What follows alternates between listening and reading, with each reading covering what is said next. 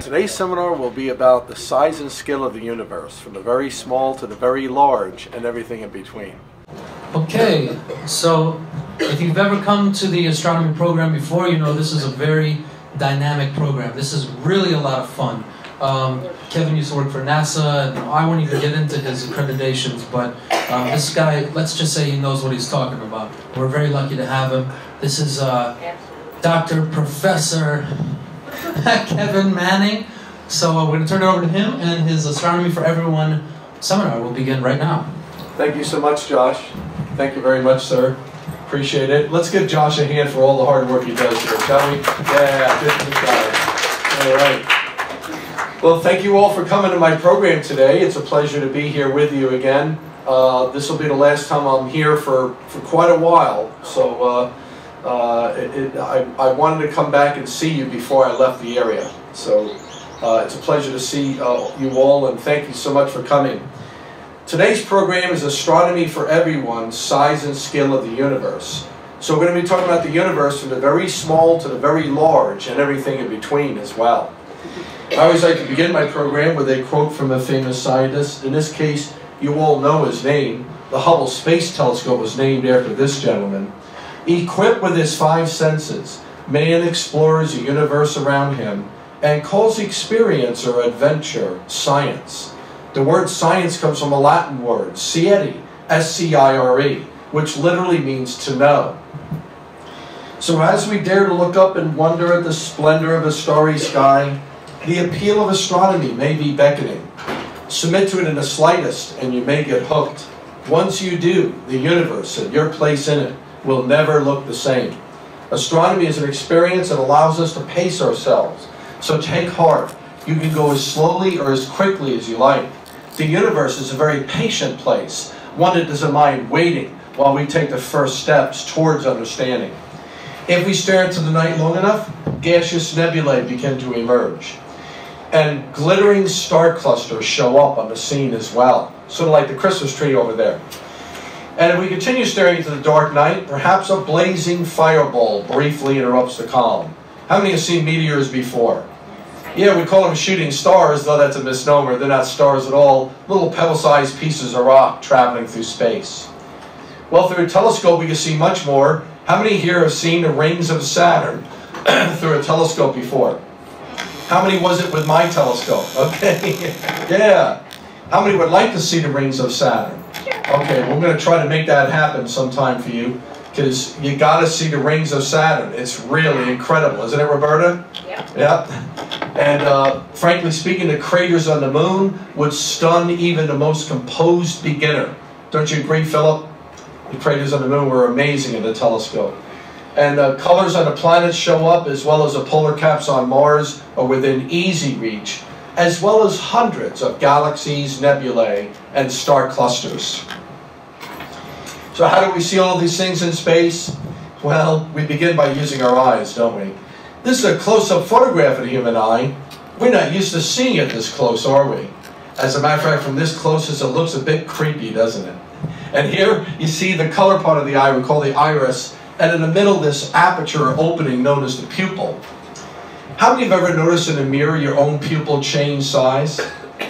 Yeah, you know, bright sunny day, the pupil is rather small and squinty. Dark night with few lights around, it'll open up to a maximum of seven millimeters, about a quarter of an inch in diameter. So to enhance our vision, we use the telescope, the primary tool of the astronomer. When it comes to optical or visual astronomy, there are two basic designs. These two in the upper right of our screen uses a lens, so when light comes through that lens, it is bent or refracted, converging as a cone to a focus back here at the focal plane. Well, because that design refracts light, we simply call them refractor telescopes. These two on the lower left of our screen uses a mirror. Light comes in a basically hollow tube and strikes the surface of that mirror, which is curved inward like a spoon. We call that a concave curve. And by virtue of that curvature in that reflective surface, light rays will also converge to a focus.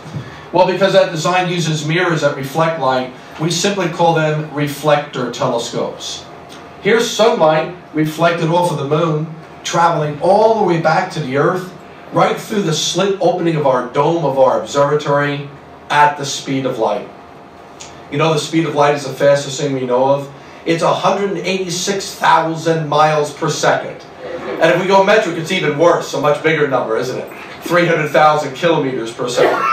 Well, what does that mean? It means we go around the earth, not once or twice, but seven and a half times in one second.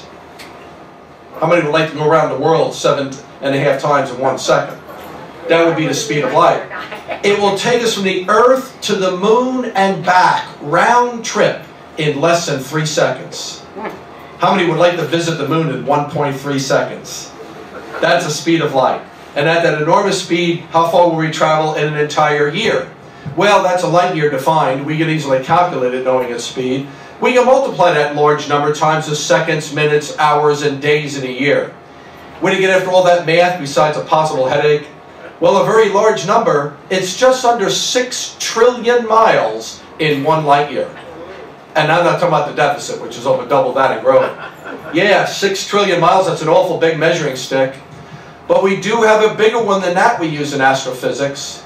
Let's try a little experiment together, shall we? Everyone, please, hold your index finger up in front of your eyes like I am mine. Would you try it? Close your left eye so you see your finger with your right eye only, and then close your right eye and look at your finger with your left eye, and the background beyond respectfully as well. Now blink back and forth between your eyes while looking at your finger. Yeah, it looks like it's moving. Now you know you're not moving your finger. So could it be our left eye is looking at the finger from this angle, and over here on the other side of our head, our right eye is looking at the same finger from a different angle? Aren't we forming a little triangle when we do that? How many heard of triangulation? A method to measure distances of objects. Yes.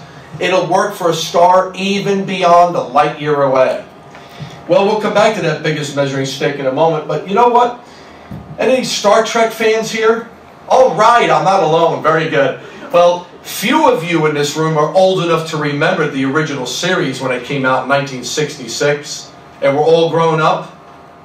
Hey, we're no spring chickens anymore, are we? But anyhow, I think some of you are older than me in this room. I'm not sure, but anyhow. My son was a big fan. Yes, Star Trek is an awesome show. Well, I watched it faithfully the whole time it was on air. Did anybody here catch the recent movies of Star Trek? Yeah, weren't they great, Josh? They were awesome.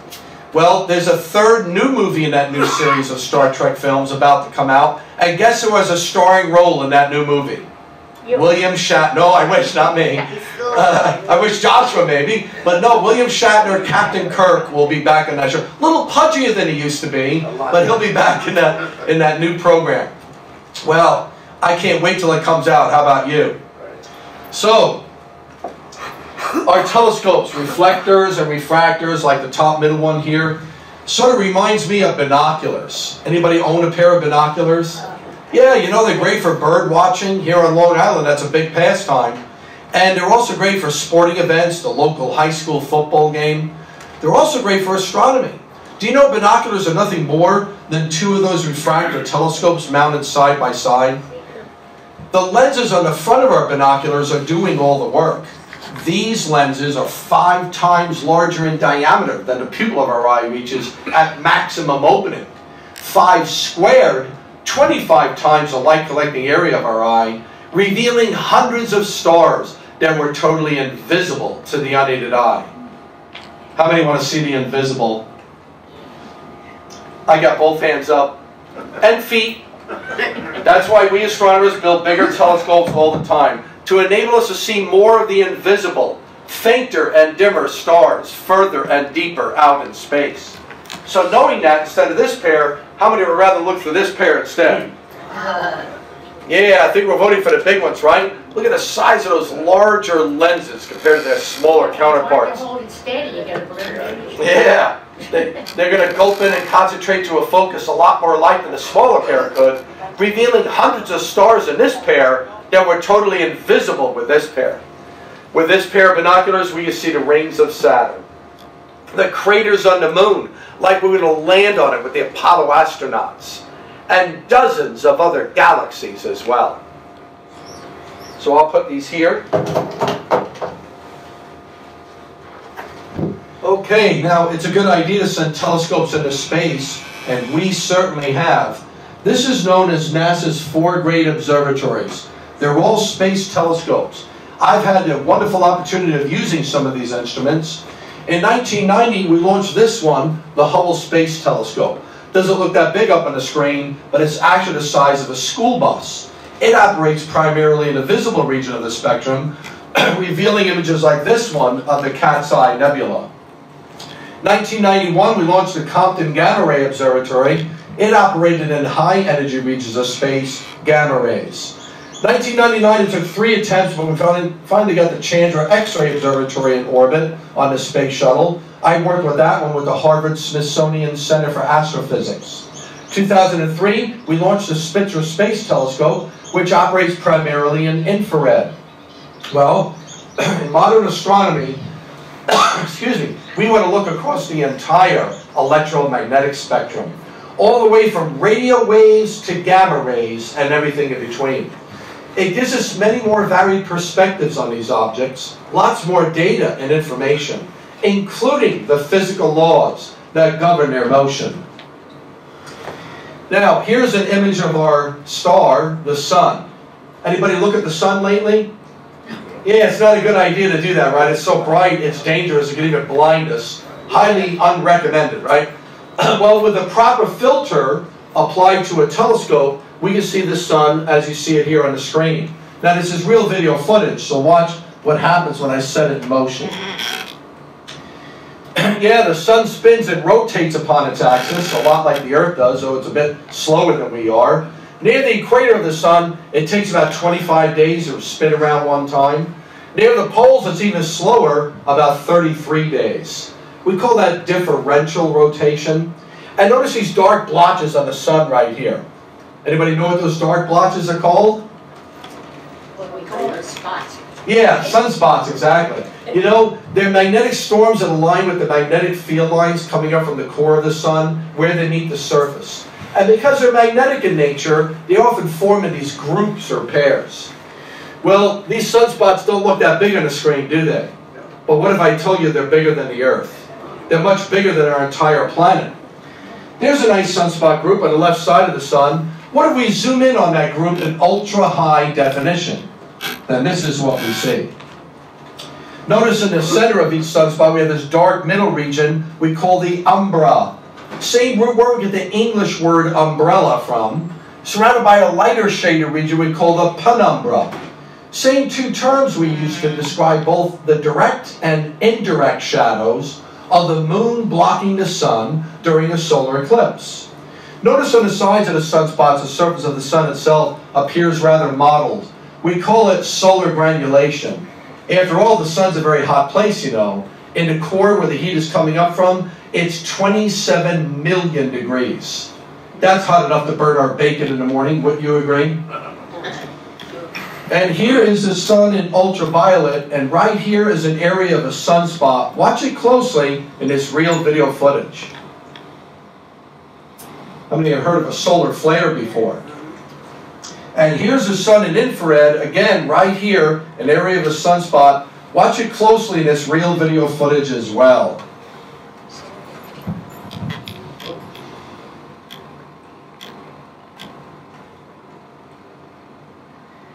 Now that was definitely an ooh ah moment. Some of you missed your cue, but that's okay. You know, the magnetic field line suppressing the material below until the pressure builds and it explodes forth with these electrically charged particles known as ions in a matrix known as plasma. Same phase of matter we see in lightning bolts and stars like the sun. Much of the plasma raining back down on the surface of the sun from its tidal forces or gravitational pull encompassing an area seen here on the screen that doesn't look very large, but it's actually bigger than the distance from the Earth to the moon, hundreds of thousands of miles. And here is a newborn star.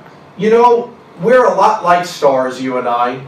Stars are born, they live, and they die.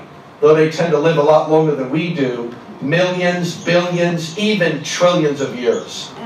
Let me show you this visualization, everything that happens to a newly formed star. First, it's fusing hydrogen into heavier elements, glowing with its own power. When all the hydrogen is used up, the core begins to collapse, but now it's burning heavier elements created through the fusion process on up the chain, which burn hotter so the star expands larger. Now, when it reaches iron vapor in the core, there's a problem. Iron is so heavy it won't release energy, it only absorbs it. So gravity takes over, and the star's core will begin to collapse in about a second of time, triggering a horrific, catastrophic explosion known as a supernova. Yes, in a moment of time, more energy has been released from this exploding star than it had been burning in the previous millions, even billions of years beforehand. So bright are these supernovae, we can see them at distant galaxies millions of light years away. The leftover gas and dust debris of our stellar explosion actually enriching that area of space so that the deaths of old stars can ultimately lead to the births of new stars. Stars glow with their own power, so we call them luminous objects. Other objects such as planets, moons, asteroids, comets are only illuminated by reflecting nearby starlight. Our nearest neighbor who does that with the sun, the moon. Though it looks like uh, we can reach out and grab a hold of the moon in the night sky, it appears so close. And relatively speaking, it is our nearest neighbor by far throughout the entire universe but it does lie a distance of 240,000 miles away. Here is the sun using a, a filter. So look at that little dark ball be there silhouetted in front of the sun from our line of sight. Any guesses? It could be Mercury. Good job. Mercury is closer to the sun than we are. As a matter of fact, Mercury is the closest planet to the sun of all. And it orbits the sun in a mere 88 days. That means every so often it'll line up with the line of nodes, we call it, and it'll pass right in front of the sun's disk from our line of sight. Well, we call the event a transit, but this is not a transit of Mercury. Who else could this be? Venus. That's right. This is a transit of Venus. The only other planet closer than we are to the sun, right? We're the third rock from the sun on Earth. This is a transit of Venus where it passed right in front of the sun's disk. Jupiter, our largest planet in the entire solar system. It's 11 times larger in diameter than the Earth, and yet its day is less than half of ours. Jupiter spins and rotates on its axis in a mere 9 hours and 50 minutes, stretching along these stripes known as cloud belts. Our second largest planet, Saturn, with its majestic rings. And in between the bright ring sections, we see this dark appearing gap known as Cassini's division. And up near the pole of the planet, we notice this luminous arc visible there. It's actually an aurora. How many have seen the northern lights before? Yeah, we know they exist on the Earth, but they also exist on other worlds, such as Saturn.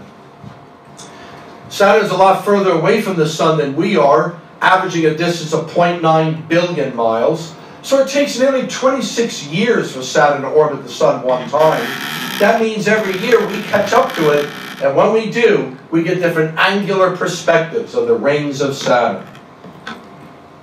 And here we see uh, an image of Saturn and many images taken up close and personal by the Cassini spacecraft and the Huygens probe.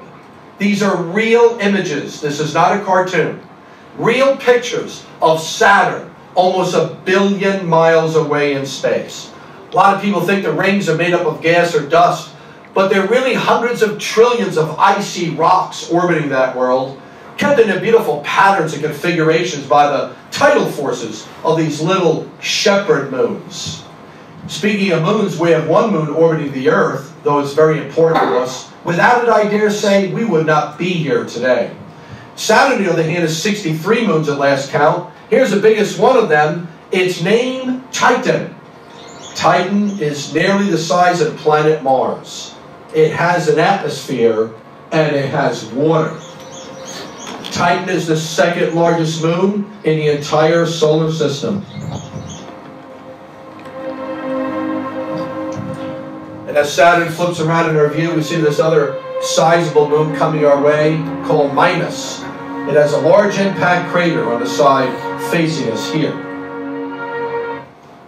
Mars, with its polar caps, and dark areas like this one known as Syrtis Major of high interest to all because we believe long ago Mars was more Earth-like than it is today, having a thicker, denser, more robust atmosphere and an abundance of water above its surface.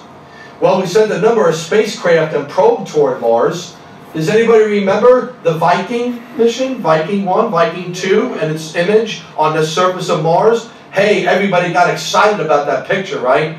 We were all surprised. We thought Mars was going to be lush with vegetation and water, but it was a dry, barren, desert-looking landscape instead. We'll have that same surprise on a much bigger scale when we arrive at Pluto next year.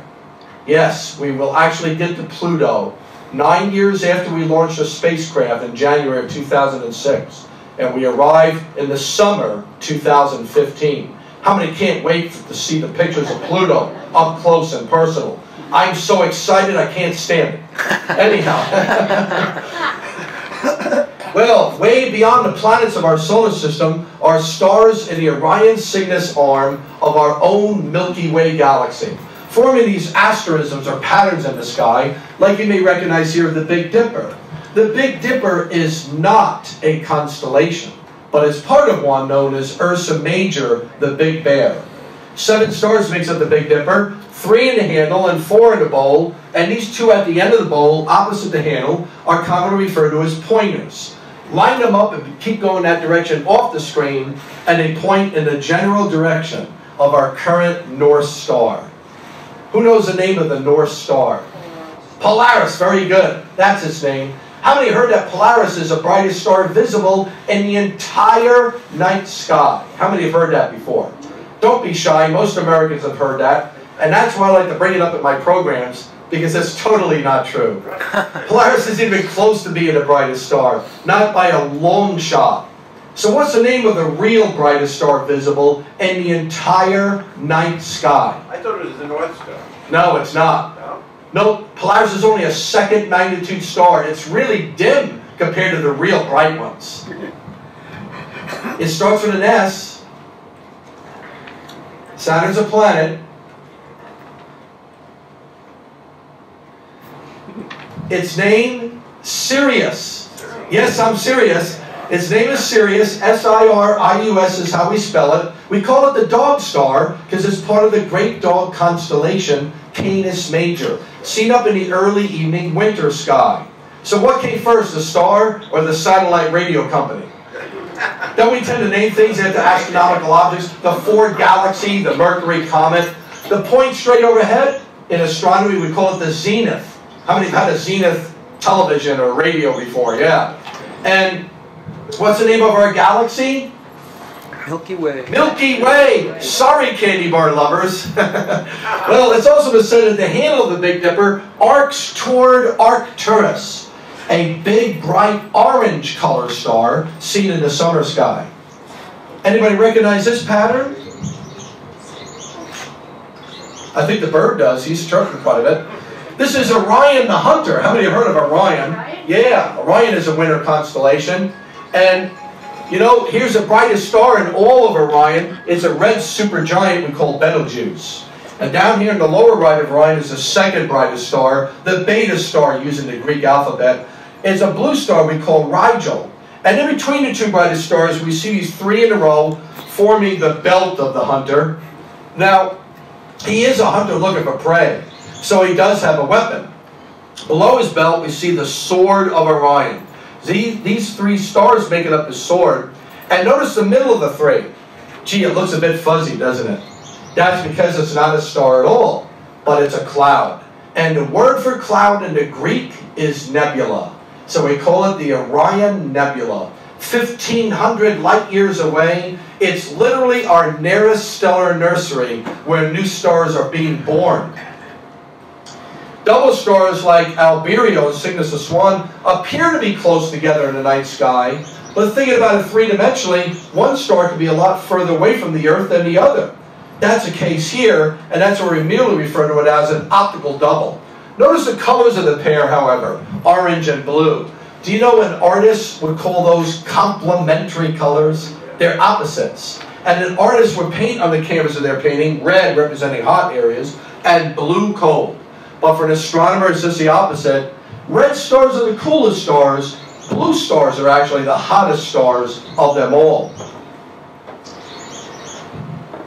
Most stars are not like the sun being a lone star, but are binary pairs or multiple star systems, like Alpha Centauri, our nearest star system to us. How many heard of Alpha Centauri before? Yeah, it's 4.3 light years away, and it's our closest star. That's the same as saying 1.3 parsecs, or about 27 trillion miles mm-hmm. to the nearest star of all. Boy, it's a big universe, isn't it? And here's an open star cluster. They're loose collections of tens to even hundreds of hot young stars, like the Pleiades star cluster seen here in the shoulder of Taurus the Bull. How many have heard of the Seven Sisters before? Yes, and Native American Indians call this the Seven Dancing Girls. But truthfully, there are 250 member stars in this cluster. Far outnumbering that, however, are member stars of a globular star cluster, like Messier 13, pictured here in Hercules, resolved right through the core by the Hubble Space Telescope of over a million old stars. I like to think of these globulars as sort of like chandeliers going around the center of our galaxy, way out in this region known as the halo. We see a few hundred of these there. We also see them routinely in other galaxies. Nebulae appear differently for the way they are formed. If a star blows out its outer layer into space as a roughly spherical shell of gas and dust, it will resemble somewhat the appearance of a planet. And that's why we call this type planetary nebulae. Notice the colors of Messier 57, the famous ring nebula in Lyra. They are real and they tell us much of its chemical composition. Diffuse nebulae appear spread out like a puff of smoke, every which direction we look, like the Orion Nebula seen here, as it would appear in a modest-sized telescope like we, like we have looked through here. Which I'd like to see what it looks like in a really big observatory telescope. Looks more like that. On the left, Messier 43, we call it the Christmas Tree Nebula. A little early in the season still, but there it is. And here's Messier 42, the Great Orion Nebula, with large amounts of filamentous structure, features and details resolved throughout the entire cloud. And as we dive down even deeper into the heart of the cloud by the power of the Hubble Space Telescope, we now have photographic evidence of what we only theorized to exist decades ago, the existence of these protoplanetary disks the gas and dust within the cloud coalesces together, begins to spin and rotate to conserve momentum, flattening like a pancake, drawing material from around it nearby, and that's what we call it an accretion disk. In the middle of our accretion disk, a new star will be born once it reaches a temperature of fusion, orbited about by new planets in a new stellar system. Well, if we could take a spacecraft into the Orion Nebula, it would look something like this. And notice in the heart of the cloud, we see these four bright stars known as the trapezium. They were born out of the cloud themselves. You can see the trapezium from home in even a small telescope. And also within the boundaries of Orion the Hunter, we see this dark cloud with a brighter backdrop silhouette, almost curtain-like in appearance in this magnificent photo of it. What does that dark cloud look like to you? Oh, of course it looks like a horse. What else does it look like? Trojan horse. A what? The Trojan horse. A, the Trojan horse, absolutely. It looks just like that. What else does it look like? A seahorse. A sea, of course it looks like a seahorse. I totally agree. Anything else? I have a picture of a seahorse I- in- on my arm. I can see that. Oh, that's cool, yeah. It's on my skin. What? And Oh. uh, it's, Oh, I thought you meant on your sweater, but it's on your skin. it's on my skin and it's. Well, take your- no, no. It's a birthmark. Oh, okay. Yes. Oh, how cool. So you, you, you really like this picture, don't I you? do. All right. Well, the point is, astronomers have a vivid imagination. The Milky Way, the Big Bang. Come on. What do astronomers see when they look at that dark cloud? Well, the consensus in the community is a horse's head So we call it the Horsehead Nebula in Orion. Personally, I think it looks like a knight piece on a chess game or a seahorse. But as we zoom in on the Horsehead Nebula in Orion, you can almost hear the neigh of the horse. All right, well, here's our own Milky Way galaxy. And we believe in the core of our Milky Way lies a supermassive black hole. Notice these dark pocket regions seen here. They're not gaps between the stars like one may think, but they're thick, dense areas of gas and dust, opaque, blocking the starlight beyond. And as we pan out and come down one of the spiral arms of our own Milky Way toward our neck of the woods, we come back to Orion the Hunter. And once again, we see the Orion Nebula and the three belt stars vertically aligned. Let's turn them horizontal once again and zoom in a bit tighter. And now we can see in, right near this end belt star, the Horsehead Nebula in proximity to the constellation as well as the entire galaxy. This red glowing material we're seeing is ionized hydrogen in a region known as Barnard's Loop. As we come back to the Horsehead Nebula, you can see right next to this end belt star, this bright reflection nebula we call IC434. That stands for Index Catalog, one of our catalog systems in astronomy. And as we pan away to the Christmas tree and Orion nebulas again, this is not art, this is for real. As we dive down deep into the Orion Nebula, we can see the cloud glowing brighter than ever seen before in history. And the stars of the trapezium shining brighter than ever seen before by human eyes. Now we pan another short span away to come to a Hubble photo that broke international headlines overnight. At first it looks like a UFO, but it's not a flying saucer. It's our accretion disk, as described, flat like a pancake, horizontal in our line of sight. We see the glow of a new star undergoing fusion both above and below the disk of material, from whence new planets will form, orbiting that new star in a new stellar system. Now, everything I've talked about up till now is inside of our own Milky Way galaxy. Way beyond the Milky Way are hundreds of billions of island universes known as galaxies. Like the Andromeda galaxy seen here, two million light years away, it's literally our nearest, one of our nearest neighboring galaxies to us. But two million light years is an awful long distance. We're looking at the glow of its stars as they really appeared two million years ago in the past. How many remember those days? No, we don't go back that far, dude. Well, do you know telescopes don't only reveal the invisible, they're also a time machine. They take us back in time.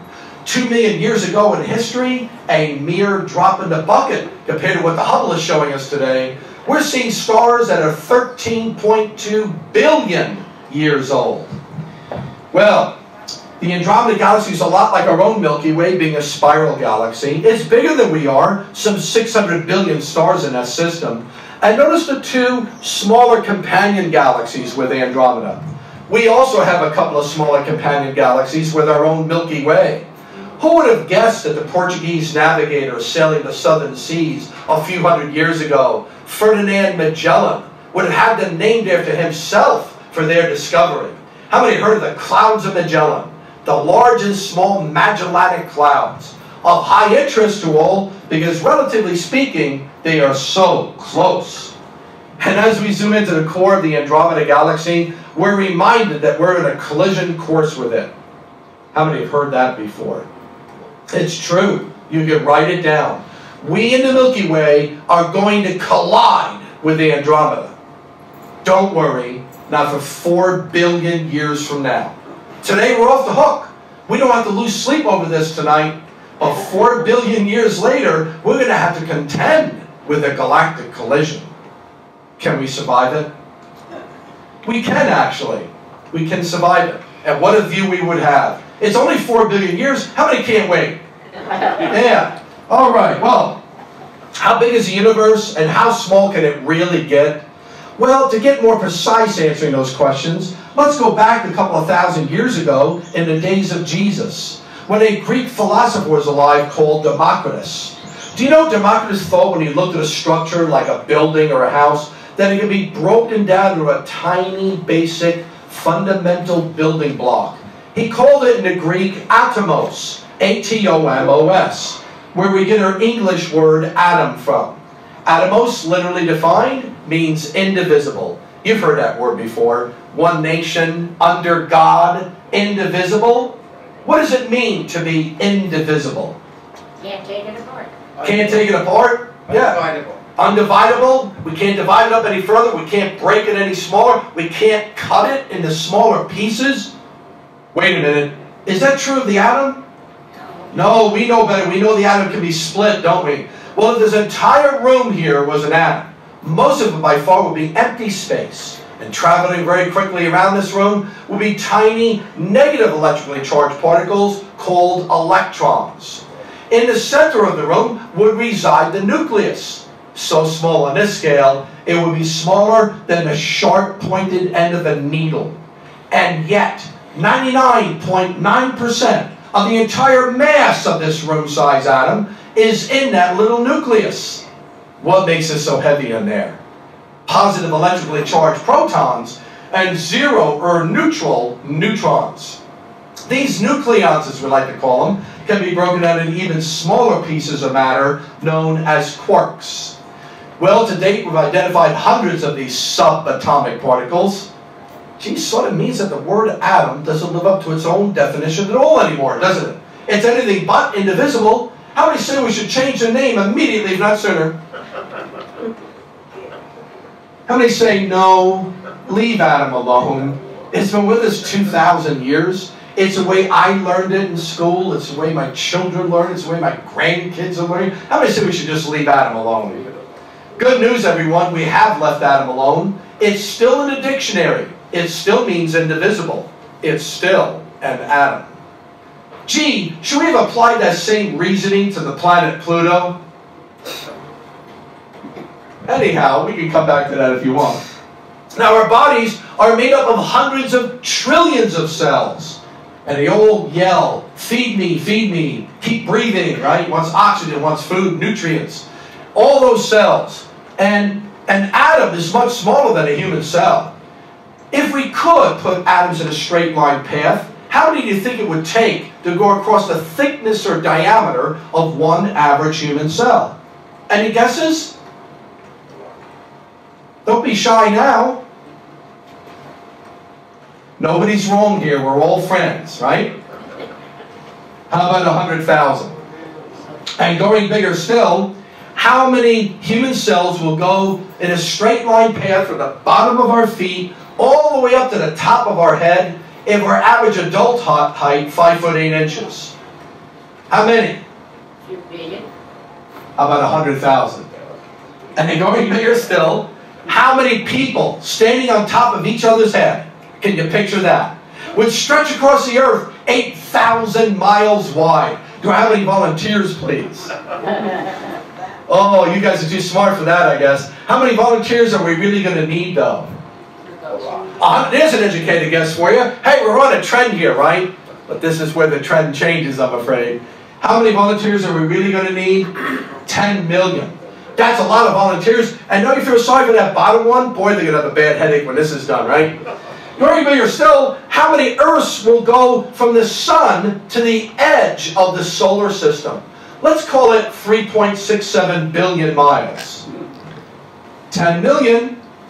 And going bigger still, how many solar systems will go across the entire Milky Way galaxy? How wide is the Milky Way? From one spiral arm edge to the other, it's a hundred thousand light years in diameter. Remember a light year six trillion miles? 600 quadrillion miles across the Milky Way. How many solar systems would fit across that expanse? 100 million. A hundred million. Ten million. You weren't far off there. Good job. And my largest question today is, how many Milky Ways, edge to edge, would it take to go across the entire known, detectable, observable universe in a three-dimensional understanding? How many? How many think it's a really big number, like billions? That's why this might be a bit surprising. Yeah, so big is our Milky Way. But I'll tell you something even more surprising than that. Going from the very small, an atom, to the very large, the entire universe.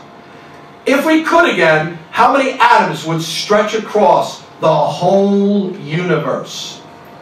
Well, wouldn't it be all these numbers multiplied together? Yes, of course it would. Here's the number.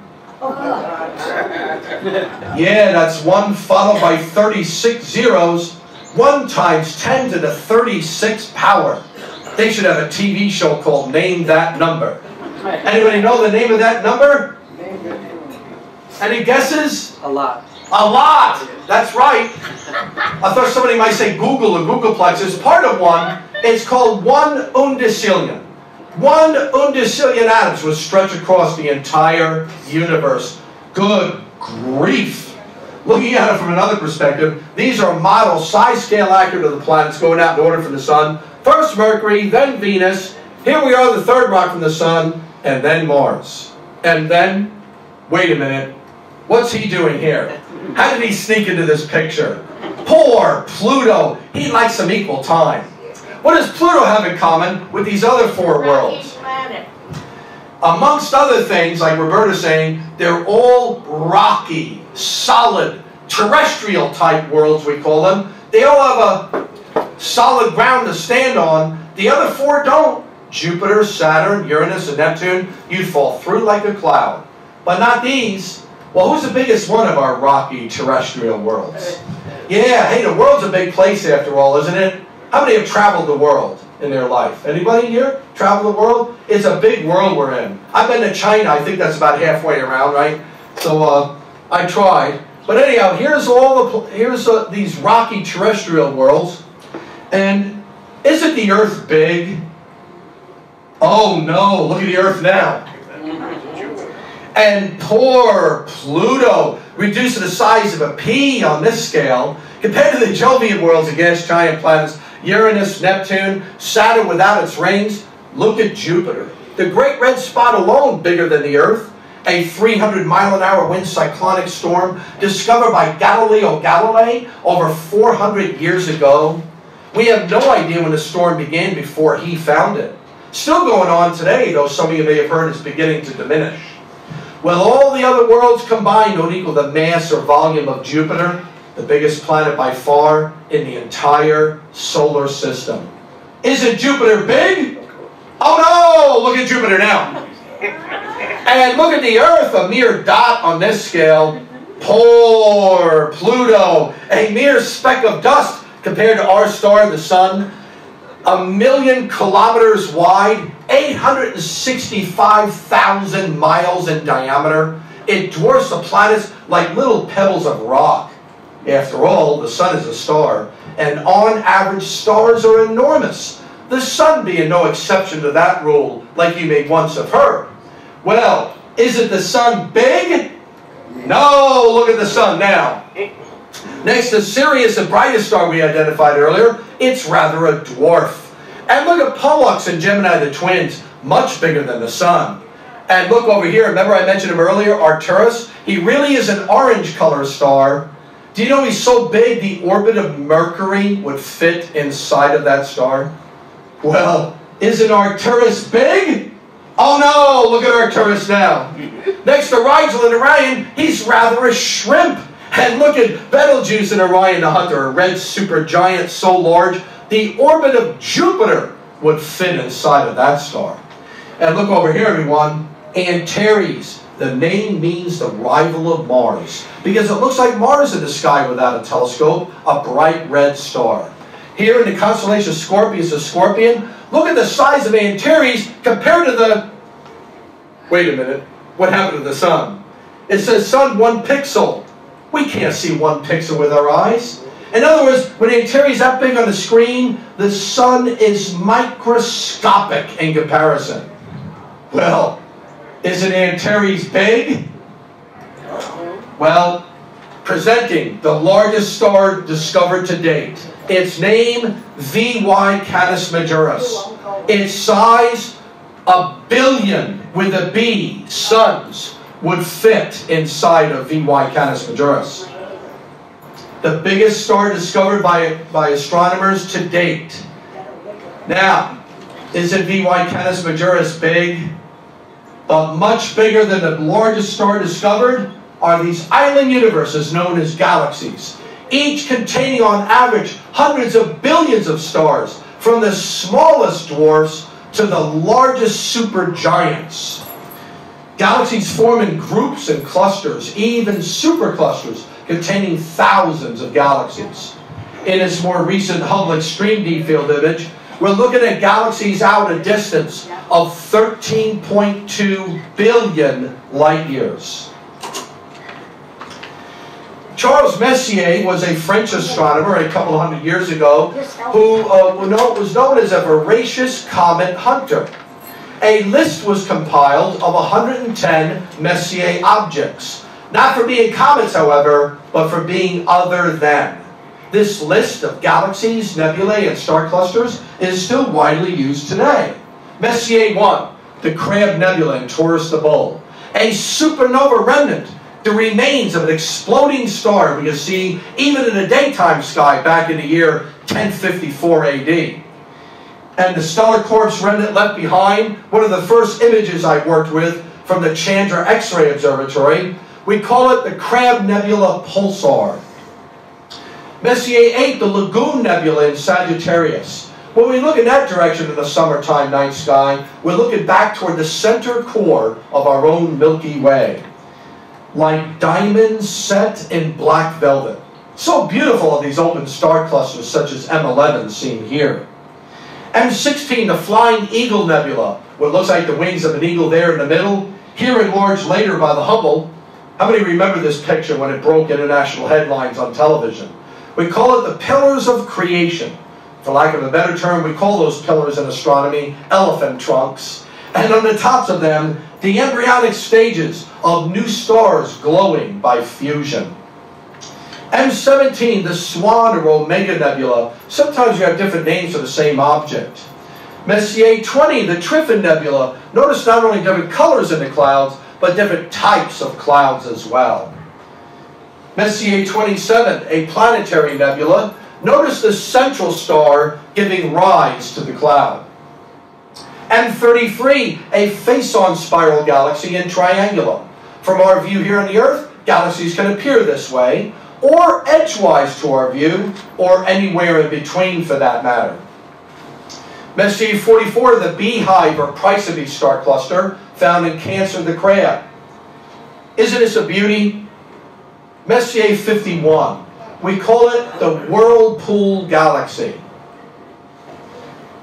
M64, the Black Eye Galaxy, giving rise to its name, the dark dust lane near the center there. Here enlarged later by the Hubble, we now see evidence of new star-forming regions amongst this cold, dark, dead dust. M76, a colorful nebula seen in Perseus. M81 is a beautiful spiral galaxy not far from the Big Dipper in the sky. And right near that one is M82, a completely different appearing galaxy altogether. Likewise with M83, a barred spiral galaxy seen in Hydra. We think our own Milky Way is a barred spiral. M97, the Owl Nebula. Woo! Can you see the owl? Maybe with the Hubble color view. M101, a face-on spiral galaxy we commonly call the pinwheel for obvious reasons. Edgewise to our view is M104, the sombrero galaxy. And the rim of our Mexican hat, again resolved by the Hubble into new stars. Beyond the Messier list, there are other catalogs of objects. Want to show you a few samples of them, like the Hourglass Nebula.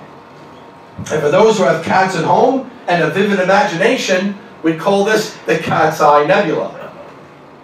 The North American Nebula. Can you see Mexico, Texas, Florida, New York, California? You didn't know we were up in the night sky, did you?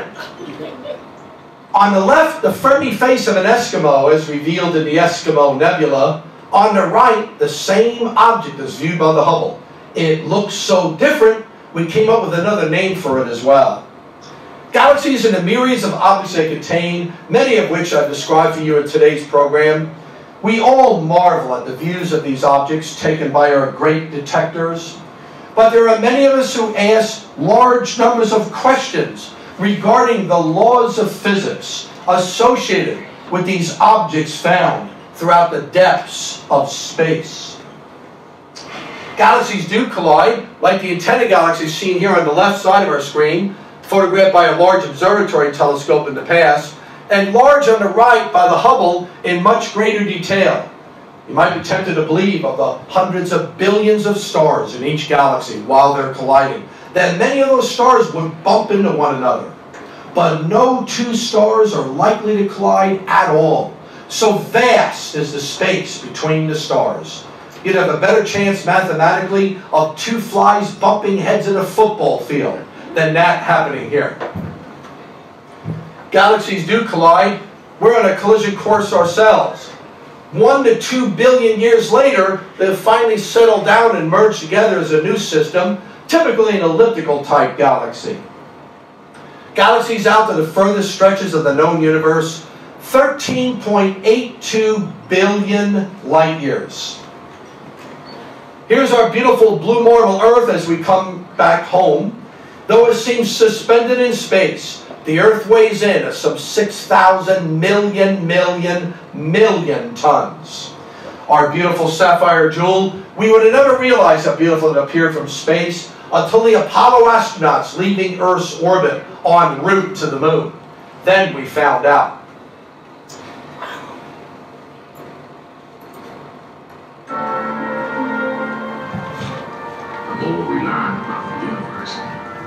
The more new mysteries we uncover. Profound questions for future generations of cosmic explorers. Will the universe go on expanding forever?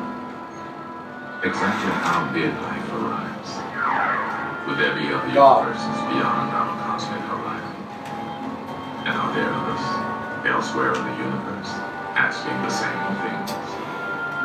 Even to ask such questions is ambitious.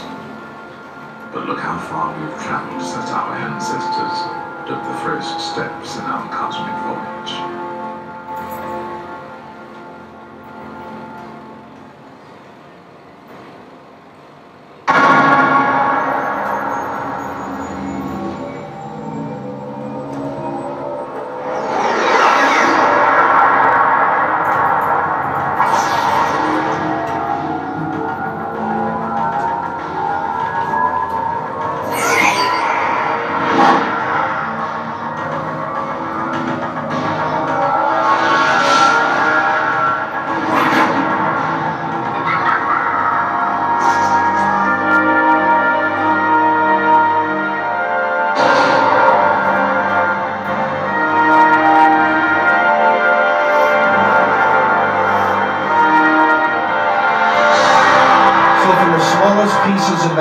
Quarks and strings, to the entire cosmos, the universe is truly incredible. In conclusion, I'd like to quote Walt Whitman with a backdrop of the Lawrence tree as painted by Georgia O'Keeffe. When I heard the learned astronomer, when the proofs, the figures were ranged in columns before me, when I was shown the charts and diagrams to add, divide, and measure them, when I sitting heard the astronomer where he lectured with much applause in the lecture room, how soon unaccountable I became tired and sick, till rising and gliding out I wandered off by myself in the mystical moist night air, and from time to time looked up in perfect silence at the stars.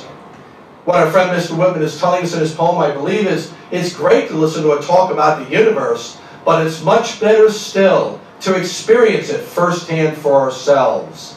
Thank you so much for your time and attention, everyone.